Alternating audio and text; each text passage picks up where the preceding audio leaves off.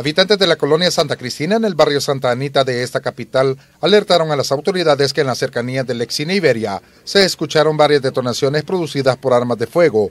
Los agentes policiales al llegar al lugar encontraron el cuerpo de un hombre tirado en la acera con múltiples disparos en su rostro. La información que tenemos ahorita es que este día a las 19.30 eh, a esta persona le hacen varios disparos de arma de fuego, quien fallece aquí en el lugar.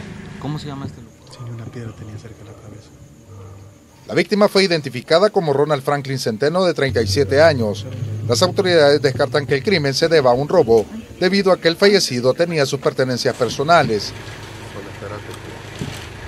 No, no, desconozco completamente eso. No se sabe. No, no sabemos. No hay móviles. el móvil. No, desconocemos móviles. Ni quiénes pudieron haberlo atacado. Tampoco. ¿Y las lesiones en qué parte del cuerpo? Eh, tiene varias, varias, varias lesiones producidas por disparo de arma de fuego.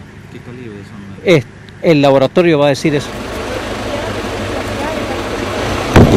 Siempre en el centro de San Salvador, en la intersección de la 29 Calle Oriente y 14 Avenida Norte, una persona de avanzada edad fue atropellada por un conductor de un microbús pirata que transitaba en la vía, muriendo de forma instantánea.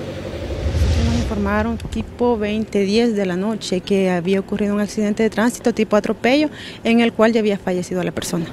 En este caso, bueno, él iba cruzando la zona peatonal, Exacto, iba- no se tiene algún indicio de, o, o alguna pista de quién pudo haber sido o cometido la imprudencia. No, solo se sabe que es un microbús color azul, nada más. Los agentes de tránsito hacen el llamado a los ciudadanos a denunciar al hechor de este accidente. De ser capturado, podría ser procesado por el delito de homicidio culposo. Edgardo Portillo, Noticiero Hechos.